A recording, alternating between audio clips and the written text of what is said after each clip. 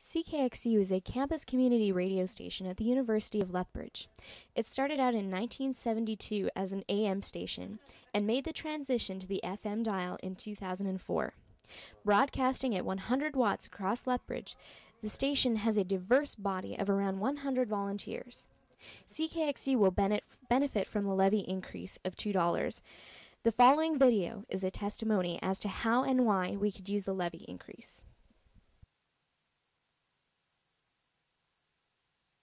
I'm here with Nick Bango, station manager and executive director here at CKXU. Nick, can you tell us a little bit about your job? Sure. As the uh, station manager and executive director, I handle a lot of the administrative stuff around the station. I do uh, finance, payroll, accounting, uh, and a lot of equipment and maintenance. Uh, I also have to make sure that we follow all CRTC guidelines and regulations and things like that. Okay, uh, first question I've got for you, Nick. Why does CKXU need this levy increase? Well, we need money, to be honest. Uh, our levy was first initiated 11 years ago at $3, and it hasn't been increased since. Uh, so despite inflation and the rising costs of running a station like this, uh, we haven't received an increase in money. What we've had to do is try more fundraising and things like that, and as well uh, selling advertising. Uh, but for a campus community radio station, advertising isn't generally a big revenue generator, so it's just down to fundraising. And with that, we don't have any money to grow, uh, to develop, and to improve our station. Here with Jen Prosser. She's the uh, program director here at CKXU. Jen, you tell us about your job? Hey everyone. Uh, well, I'm the program director at CKXU, and that means I'm in charge of programming. So everything you hear on air is what I do.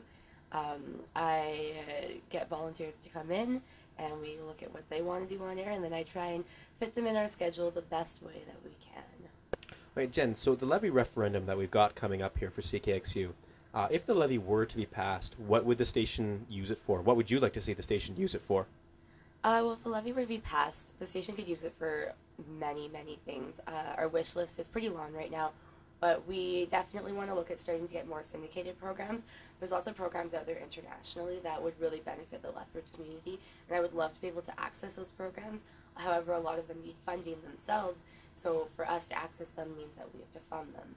Also, right now our library system's in uh, crazy need of some help. We need a bigger library, renovations, more organization, more space. Just really more space is the biggest issue, and money is needed for that as well.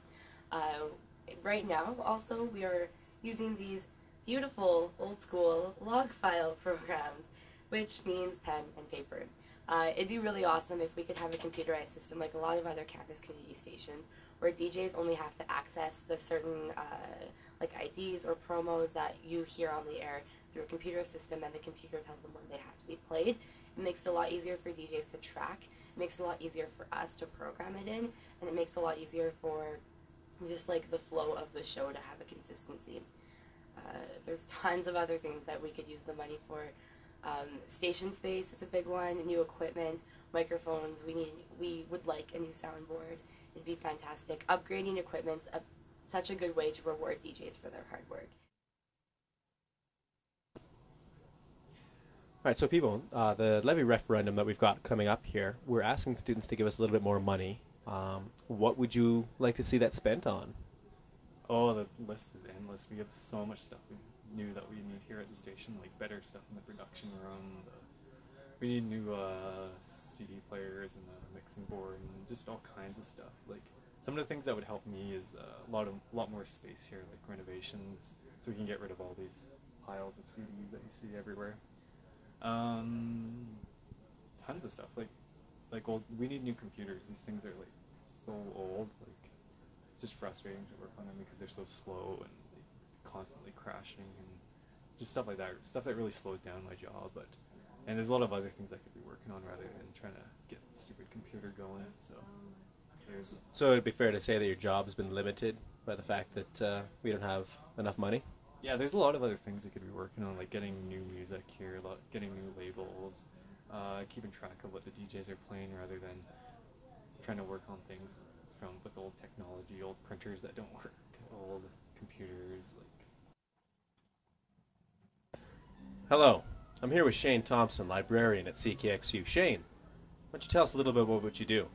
Well, here at uh, CKXU, I uh, alphabetize and organize the over 25,000 CDs and records that we have that uh, record companies send to us on a weekly basis, actually on a daily basis. Um, I uh, also every single week uh, old new music that we call playlist. I it's my job to put back into the library so that uh, the uh, DJs can use that music on their show uh, when it need be. Excellent. Let's check the library.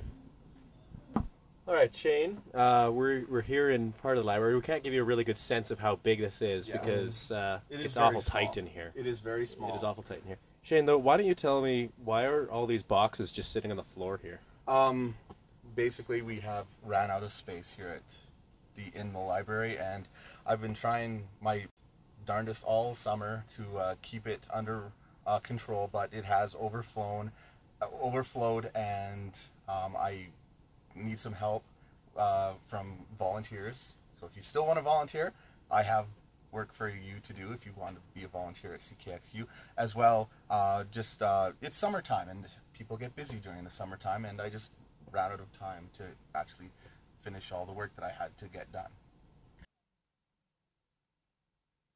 Okay, so Jen, could you show us an example, maybe, of an online uh, tracking system? Yeah, definitely. This is from WNYU, which is a campus community radio station in New York. As you can see, this is their website. And to uh, access their schedule, you just go to the playlist, and then it comes up. So if you see here, you can see all the tracks being played by this one person's show, which you can access by date using the calendar right here. So, playlist for the program, new afternoon show, host Alex, and you just take a look to see what they played. Really, really simple.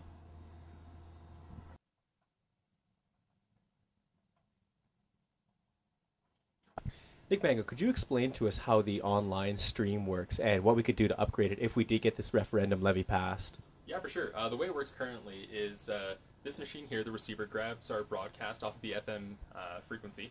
It uh, translates it into digital form through this computer here, and then this computer acts as a server which broadcasts it over the internet uh, at ckxu.com uh, through a webcast. Um, what really sucks about this is that when there's a static received through the receiver here, you get that over the internet. And as well, every time uh, a feed goes through a different system, you lose a little bit of quality. So right now, our internet broadcast quality isn't really all that good. Like you can hear it, but it's it's definitely not as sharp as it would be if you tuned in through the FM band. A better way to do it would be to get rid of this altogether and get rid of uh, this really old server that you see here and run it just off of the uh, uh, the line that goes uh, to the FM broadcast tower. Uh, so you get it before it goes to the airwaves, so you don't get any of the static or anything in there. But to do that, you need a new computer setup, something that isn't as old as this. And if we had a setup like that, we could also podcast shows as well, which is something that we're really behind in the times with. It'd be good if we could podcast our shows, because then you don't have to tune in at a specific time to hear them. You can tune in anytime. Please vote yes on CKXU in the ULSU referendum. Polls run from Friday, October 26th at 9 a.m. until Tuesday, October 30th at 4 p.m. Vote online at www.ulsu.ca.